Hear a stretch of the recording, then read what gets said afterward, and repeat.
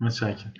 پس کلا پارتیشن ما رو همیشه یاد مف... حالا تو F5 هر جا پارتیشن دیدیم بدونیم معادل context Cisco یا معادل هر اصطلاحی که تو اون برندی که داریم کار می‌کنیم یک logical container ه چرا بهش میگیم logical container چون physical ما یه تجهیز داریم. آره ولی logical ی انگار اومدیم operating system و configuration رو تیکه تیکه کردیم تو چند سطح که حالا یا اگه VMDC داریم به مشتریمون بفروشیم اگه داخل ارگان مثلا خودتون هستین بین چند تا تیم می‌خواد manage بشه. object هایی که داخل context به صورت منحصر فرد قابل مدیریت شدن هستن این لیستشونه. مثل user account ها virtual server ها pool ها و دونه دونه این چیزا. یعنی اینا اونایی هستن که مثلا راجع به ASM که همکارتون پرسیدن همون بحث ASM مثلا اینجا application security policy ها. اینجا هر پارتیشن می‌تونه ASM policy خودش رو داشته باشه. virtual server LTM listener خودش رو داشته باشه. نه نه بر اساس ماژول نیست آفرین. بر اساس اون feature ی که شما داری استفاده می‌کنی ممکنه یه ماژولی درگیر بشه یا نشه.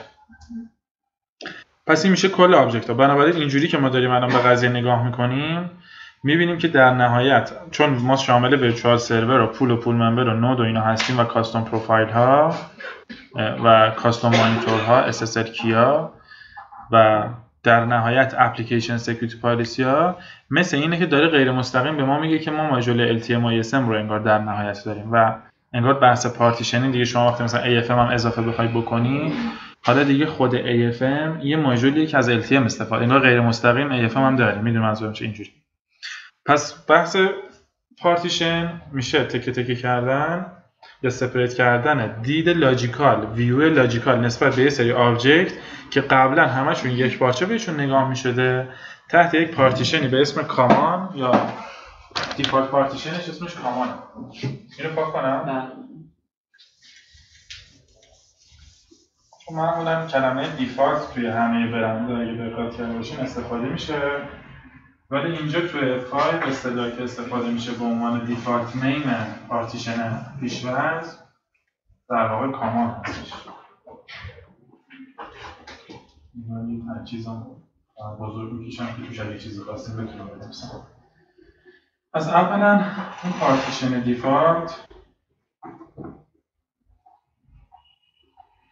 اسمش هست Common.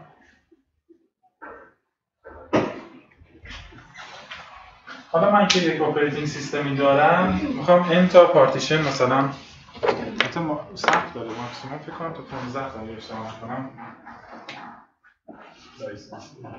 نه نه به license ربطی نداره.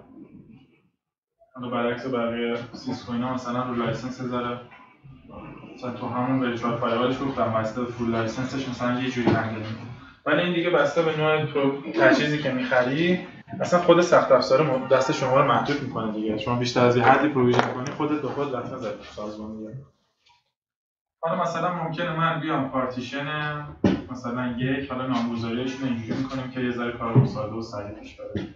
سه. خب اول بعد بدونیم که داخل هر پارتیشن قطعا شما وقتی اینا رو می‌خواید به user های مختلف بدین نیازمند یه user دیگه. پس هر پارتیشن اولا بدونیم user خودشو داره. حالا user یک و دو suppose ایی بکنیم یعنی شما زمانی که می‌خوای یه user رو create بکنی اینو به خاطر این زیر نوشتم که این نکته رو بگیم. وقتی یه user ی می‌خوای create بکنی این user رو انگار dedicate ش می‌کنی به این پارتیشن. دوباره user بعدی خواستی. فارغ از بحث پارتیشن حتی دارم میگم اما یه user می‌خوای create حداقلش اینه که می‌بره partition Common دیگه. این. بنابراین من اول.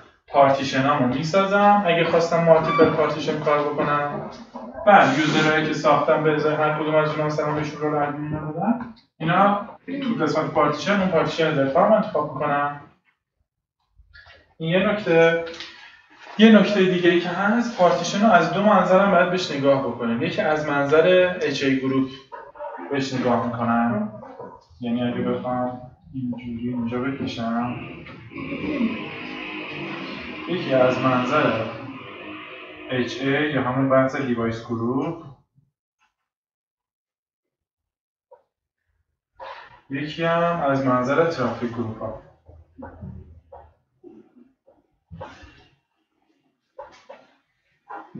راجع به traffic group هم باز تو course LTM جدا باید صحبت بکنیم.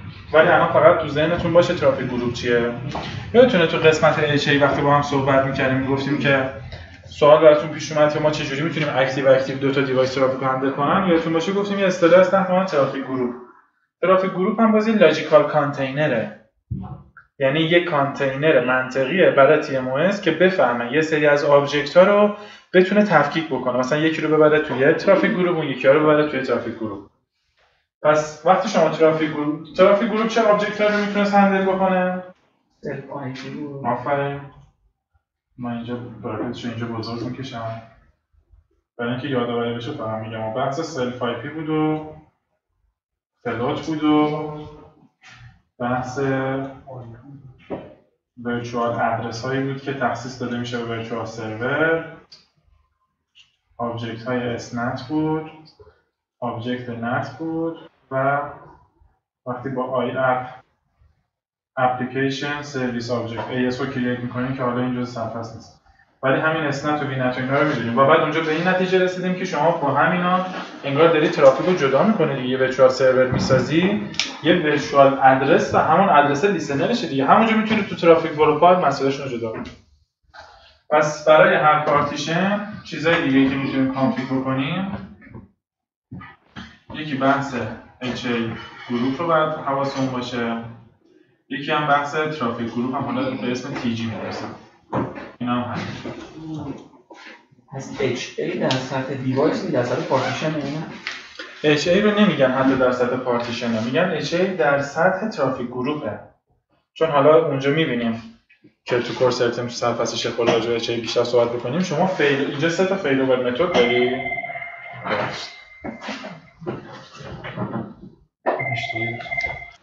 شما سه تا failover method عملا انگار داری یکی بحث load هستش یکی بحث HA group یکی HA order. اون سه تا در واقع failover method ی که داری اثرش رو داره رو traffic group می‌ذاره.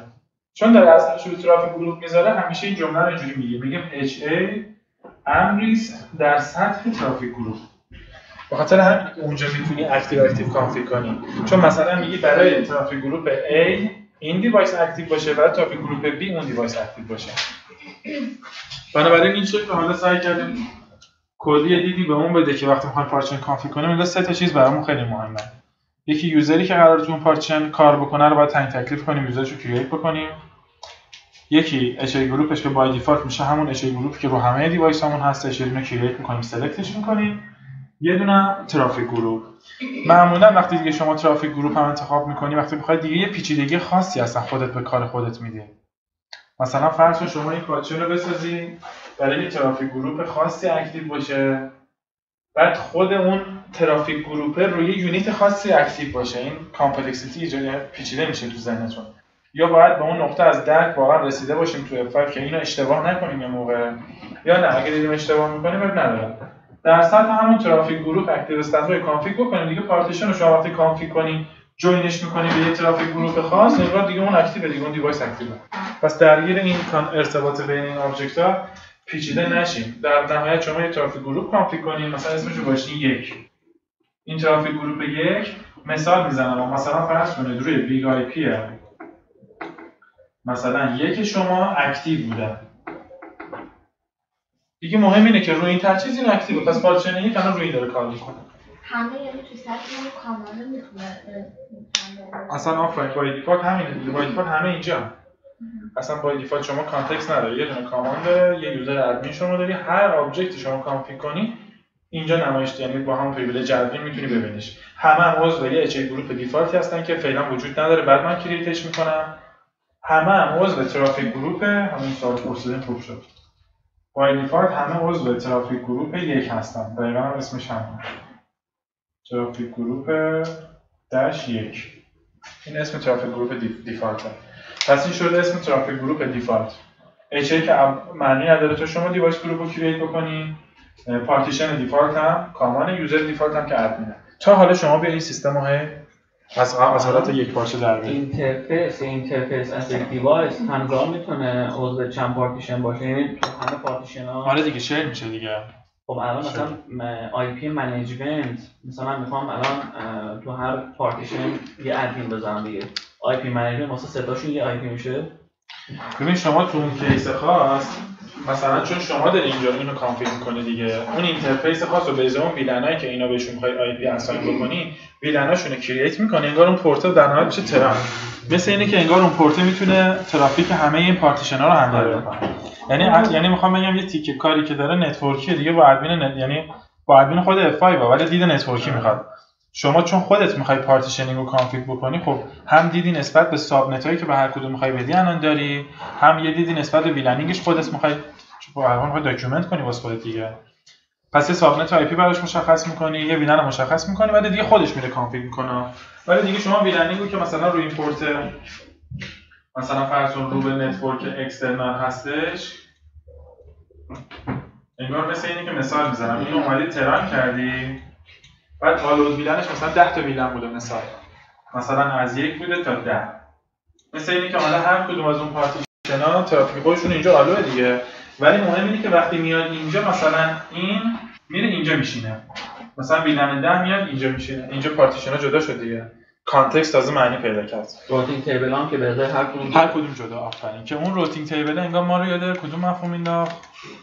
همون دیگه VRF. بحث route domain ها. این تمام اون VDC چیز دیگه. آفرین VDC سویچ نکسوس سیسکو. آفرین. که حالا میگم خود حالا اصطلاح VDC باز اصطلاح Cisco یی هست. Virtual Device Context. اینه ولی تو اون مثلا یک interface فقط عضو یه می‌تونه صحبت آره اونجا می‌تونید اونجا هم می‌تونی اونجوری config کنی هم می‌تونی می‌تونه global باشه. آره آره می‌تونه share باشه. اون یکی از option هست می‌تونی dedicated بذاری مثلا یه context خیلی دیگه. context خاصیه. که اونجا محدودیت هم چهار بود اگه اشتباه نکنم. ماکسیمم تا چهار تا full license می‌تونستی VDC رو Nexus 7000 مثلا config کنی. البته ببخشید تا 8 تا هم می‌تونستی. تا 8 تا روی نکسوس می‌تونستی. ارشاد چهار 8 تا می‌شد. فهم درست ماکسش می‌شد 8 تا اشتباه یه همچین عددی یادم.